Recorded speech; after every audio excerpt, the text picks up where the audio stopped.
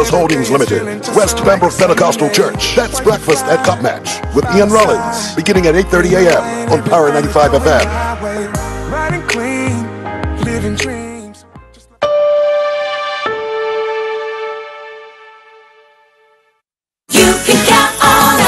Save $1.70 on value pack fresh Perdue chicken thighs or drumsticks. $1.99 per pound. Extra large red ripe seedless watermelons, $14.99 each. Kraft salad dressings only $3.39 for select varieties of 16 ounce bottles. Save $1.50 on Hellmann's mayonnaise, $6.39 for a 30 ounce jar. Save $3.06 on Match Light charcoal, $7.99 for a 3.1 pound bag. Visit our website at www.marketplace.pm for more Cup Match specials.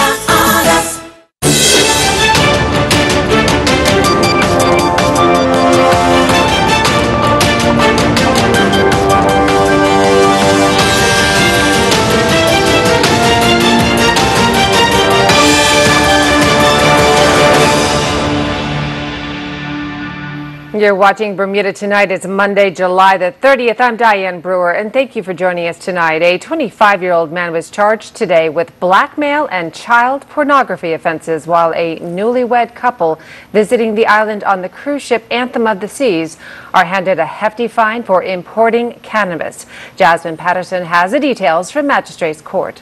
The St. George's man, who cannot be named for legal reasons, appeared this morning charged with seven counts of making unwarranted demands of individuals between December 2013 and June 30th, 2015. Six counts of making child pornography between June 2014 and 2015. Two counts of distributing the material and accessing child pornography between December 2013 and July 2015. He was not required to enter a plea as the matter must be heard in the Supreme Court.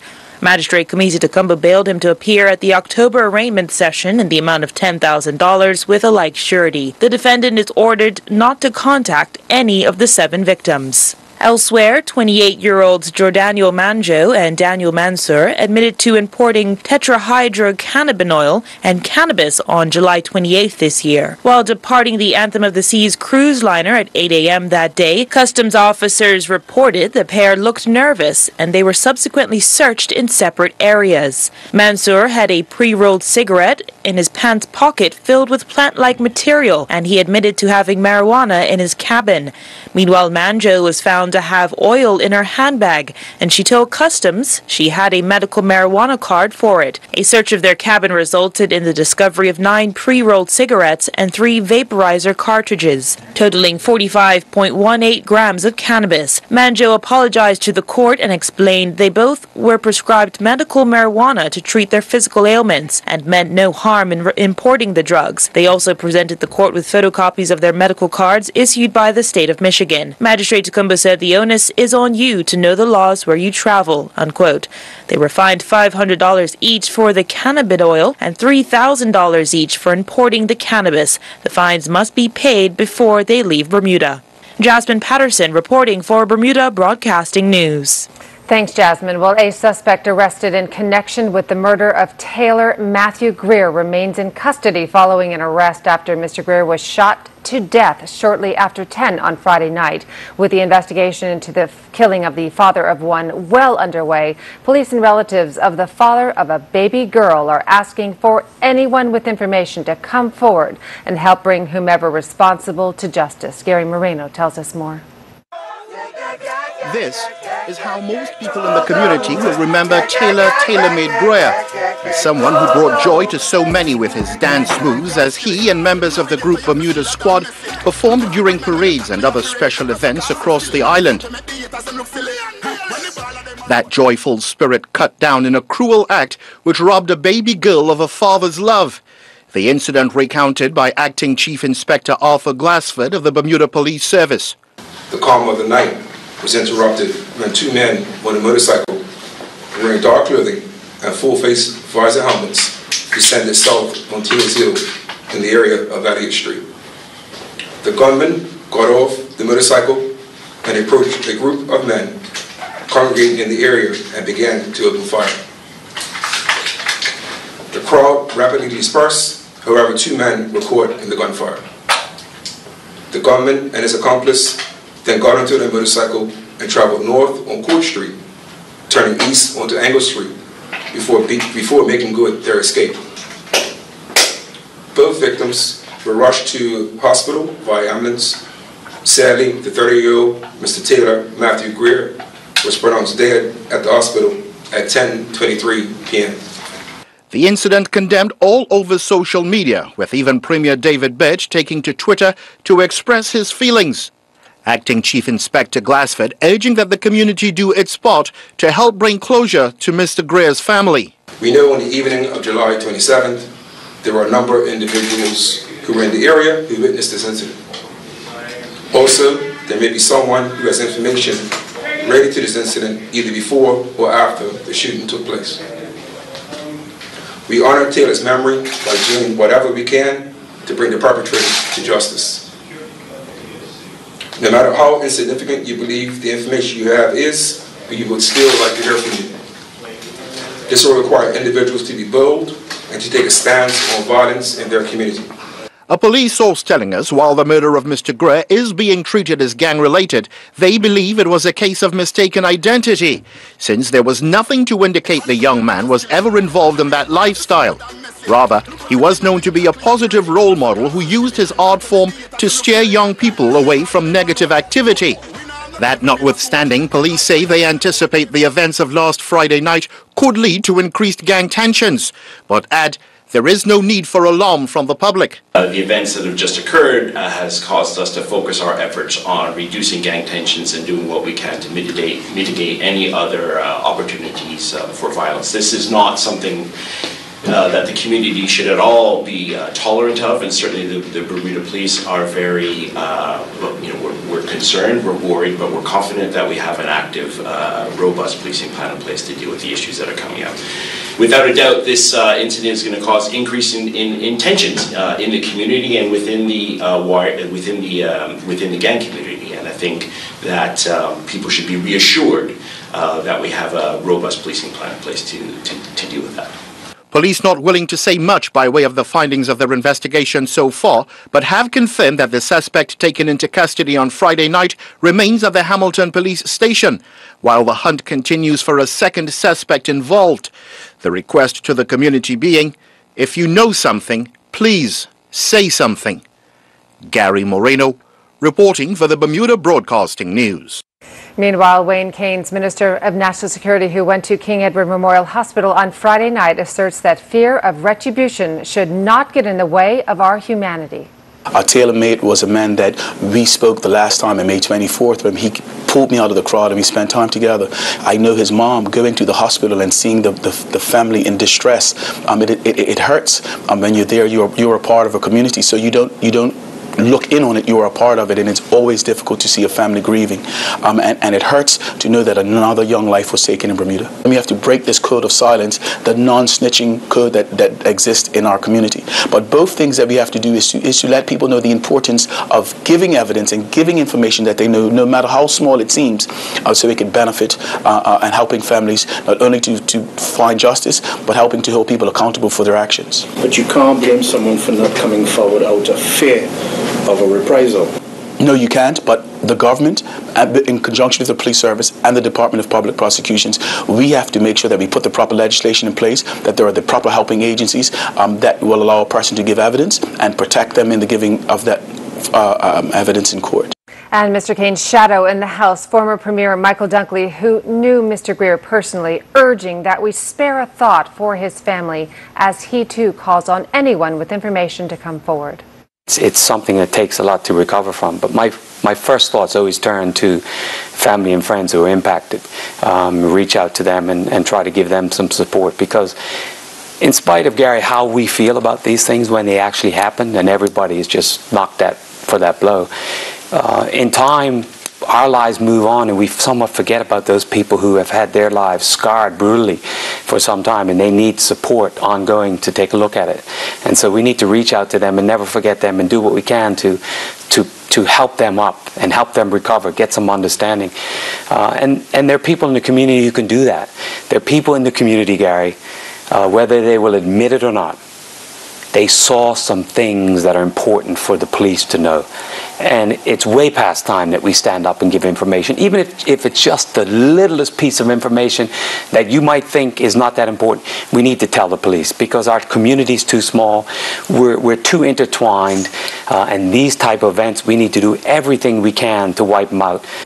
We'll have more for you after this break, including our long holiday weekend weather. Stay with us.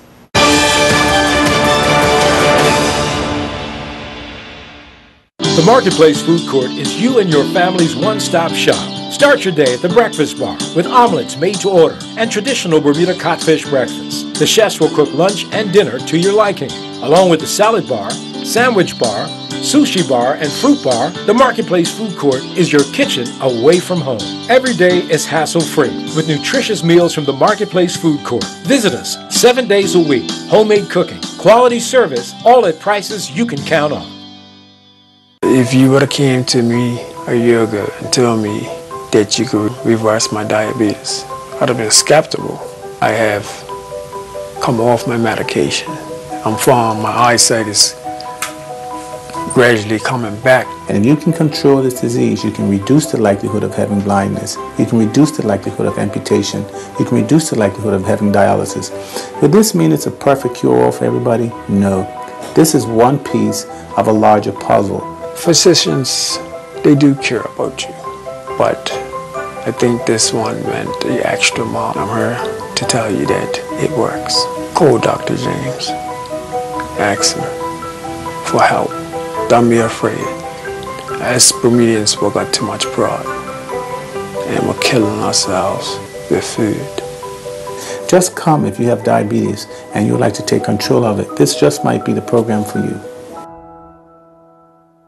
Surface Trends has been serving Bermuda for over 25 years, supplying and installing tile and natural stone. We have a large in-stock selection of beautiful porcelain wood planking, including our exclusive Bermuda cedar tile. You will also find Bermuda's best in-stock selection of countertops, including natural granites, exotic quartzites, and silestone engineered quartz in all the newest colors. Our team will be happy to help you. Stop by our showroom at 17 Serpentine Road or give us a call at 295-8005.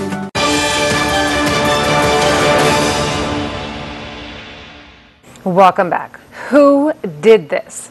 That is what we understand the powers that be at the House of Assembly are trying to determine as the less than flattering images began circulating on social media over the weekend.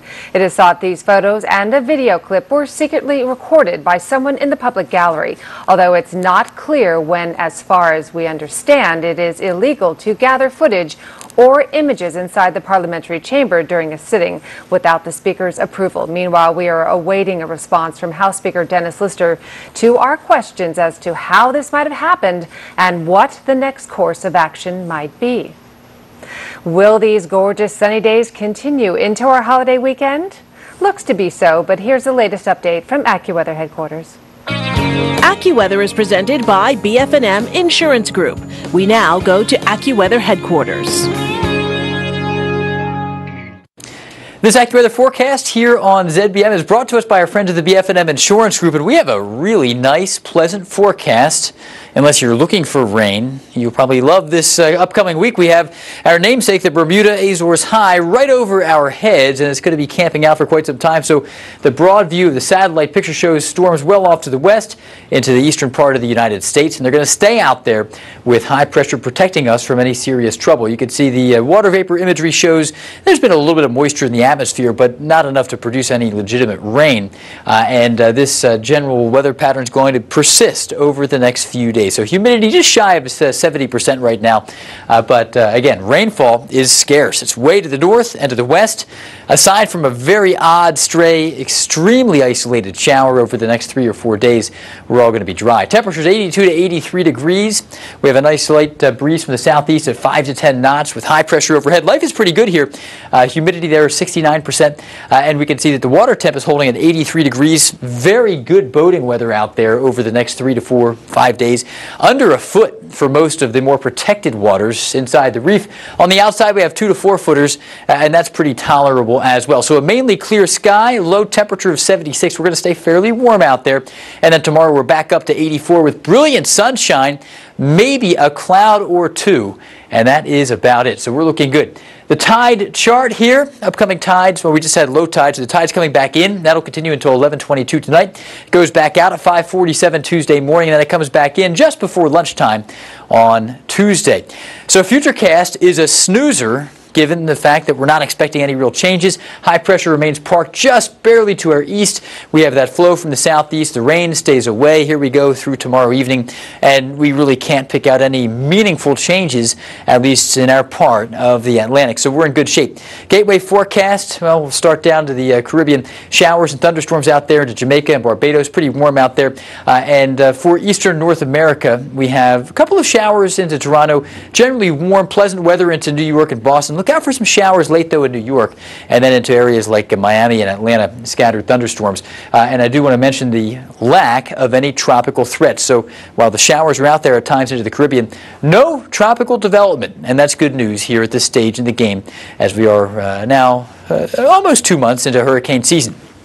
Great weather, high pressure, sunshine, just a few small clouds, steadily in the mid 80s. Lows will stay in the mid 70s as well, so no complaints out there uh, region wide across Bermuda and even the surrounding waters if you're going on any excursions, a little fishing or something like that. Good boating weather as well through the end of the week. Back to you. AccuWeather was presented by BF&M Insurance Group.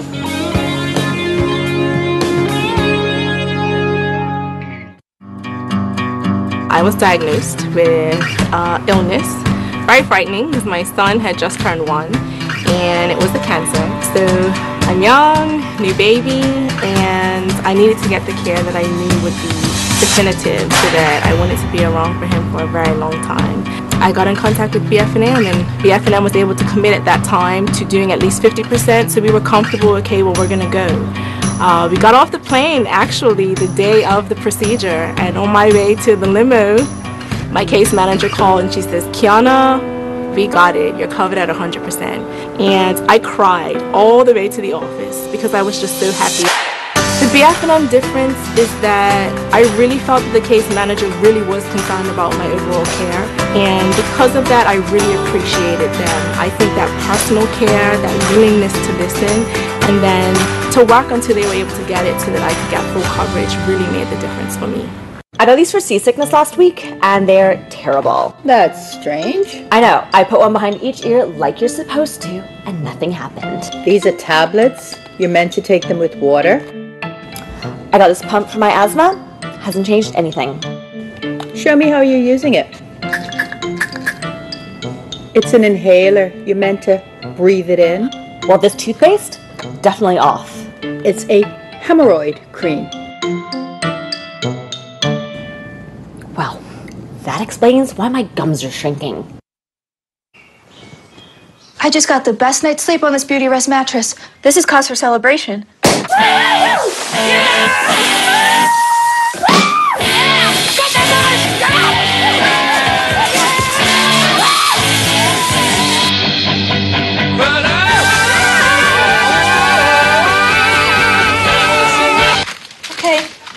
Good night. At Dreams, we don't just sell mattresses so you can get better sleep. We do it so you can be awake. Dreams, the mattress professionals.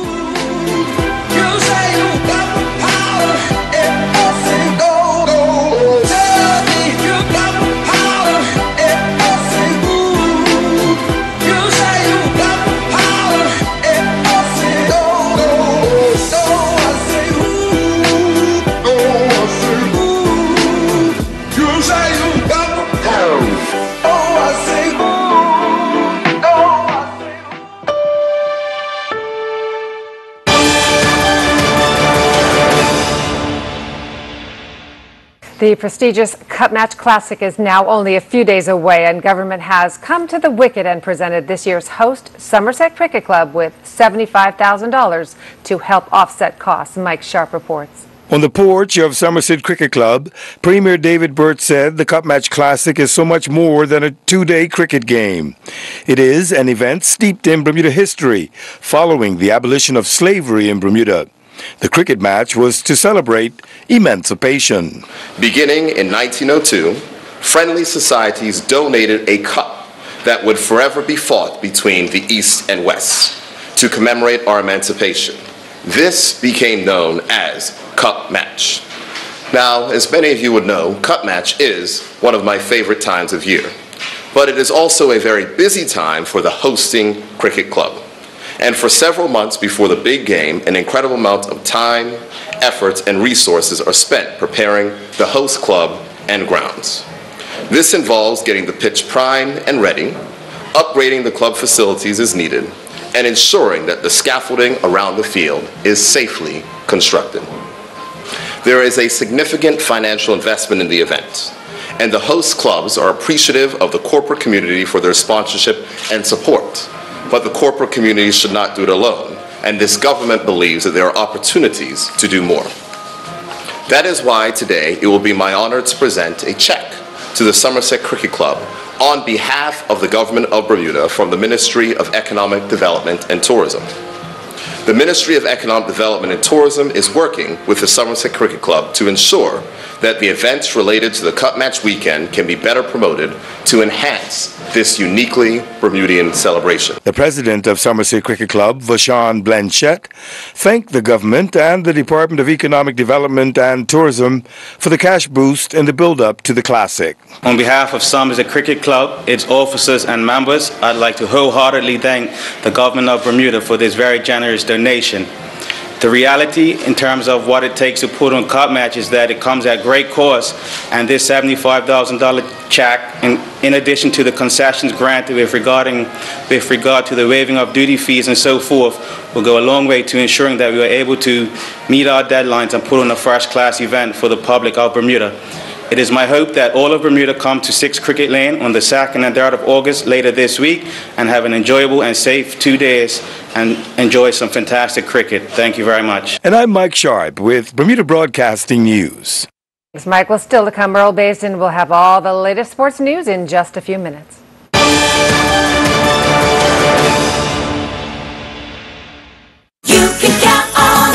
Save $3 on sweet and juicy blueberries, just $3.99 for a one pint package. Get grilling this Cup Match with frozen baby back pork spare ribs, just $3.49 per pound. Bluebonnet white hamburger or hot dog rolls, $3.49 for a package of eight. Save $2.10 on select varieties of Friendly's ice cream novelties, just $4.79 for a six pack. Super savings on Poland Spring Water, only $9.99 for a 24 pack. Have a happy and safe Cup Match holiday from the marketplace.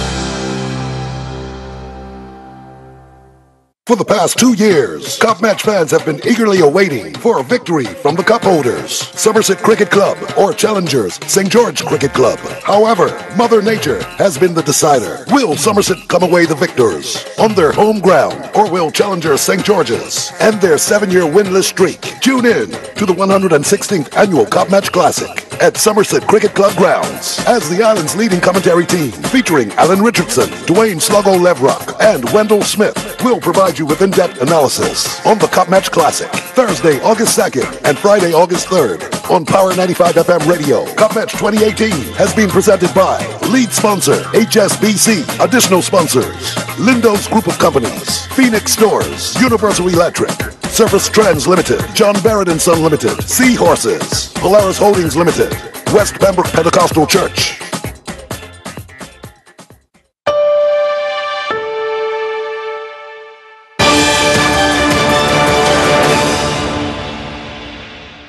Now, Earl Basden has all the latest from the CAC games in Colombia and much more in this report.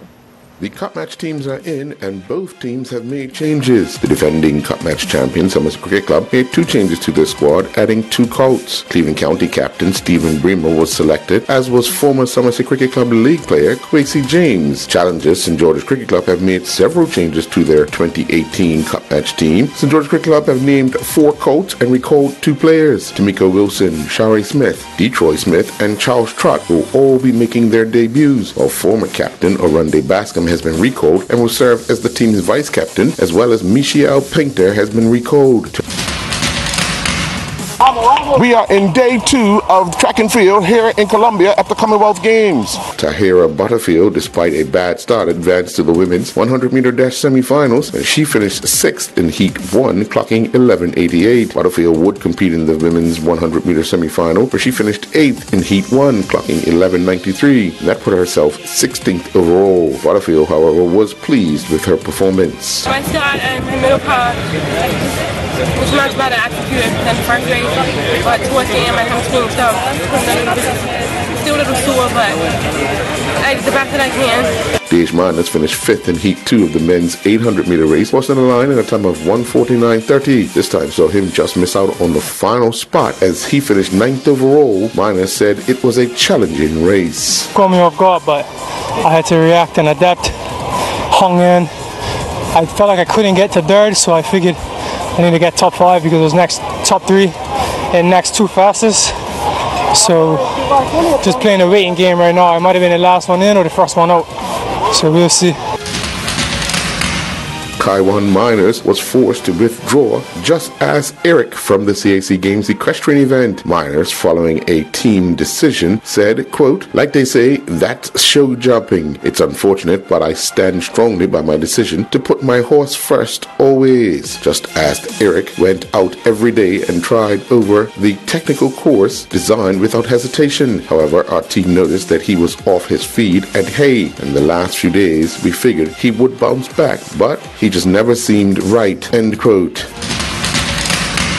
Nicole Mitchell came off the women's road race cycle course pleased with her performance in Colombia. Mitchell, who started in the field of 41 riders, crossed the line 21st, clocking a time of 2:31.47. Course uh, really played to my favor. Uh, it was pretty much a straight flat um, out and back with uh, kind of very little inclines. Um, how did I feel? I mean, uh, yeah, I've, I've peaked for this event. Um, I, I felt really good on the bike today. Jillian Terceira concluded competing in the CSI 3, CSI 1, and CSY H1 Lear International Horse Jumping event in Belgium. Terceira and Maya Volvo VD Modriv finished 41st competing in the Grand Prix 1.25 meter table A with the jump off class. They clocked a time of 68.50, but they had eight penalty full points. Terceira will compete on two horses in the 1.30 to 1.35 meter table A in two phases special class. Terceira and Amarula finished 49th at the time of 27.39, but they had four penalty full points. Terceira and Luna Di Cantaro finished one spot back by the time of 28.70. They also had four penalty full points. Tyler Butterfield finished third, competing in the Ironman 70.3 Santa Rosa event. Butterfield clocked an overall time of 3 hours, 22 minutes, and 34 seconds, competing in the men's professional division. Karen Smith won the women's 50 to 54 age group of the Ironman Hamburg with a time of 9 hours, 14 minutes, and 2 seconds. Smith was the 13th female finisher overall. She finished in 292nd place out of the 2,126 competitors. Becky Rouse came off the bench in the 60th minute as Burnley drew nil-nil with French top flight side Montpellier in their opening preseason friendly at Turf Moor. Reggie Lamb's Cambridge United head coach took charge of the side that played Newmarket Town, winning 6-1 in a game that saw Dante Leverock and three of his teammates receive yellow cards and won a red card. Leverock and his J.K. Narva Trans teammates went down 2-1 to Tammeka. Jair Prophet Williams and his N.J. Ruda Valenja teammates fell for the second time this season following a 3-1 defeat at the hands of the Mouse.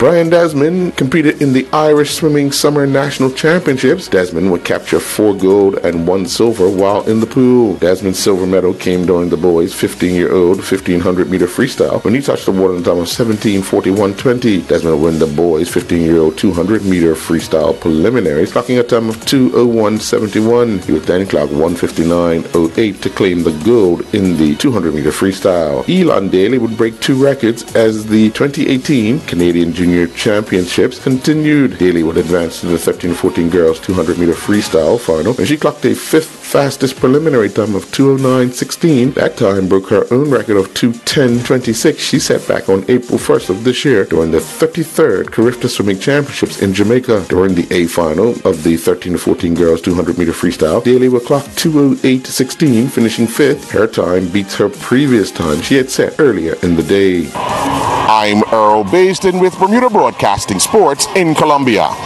Thank you, Earl. And as we come to the end of tonight's newscast, we return to our lead story the shooting of Taylor Matthew Greer. Police are asking for anyone with information to come forward and help bring whomever is responsible to justice. Please contact Crime Stoppers on 800 8477.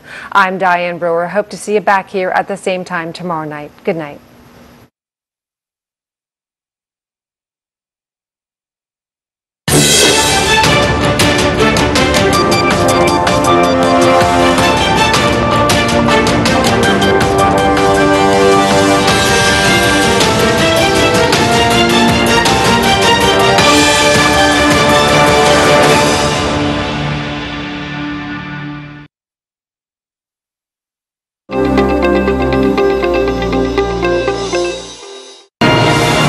On the CBS Evening News this Monday, we are in Redding, California, on the front lines of the battle against the largest and deadliest of 17 California wildfires. The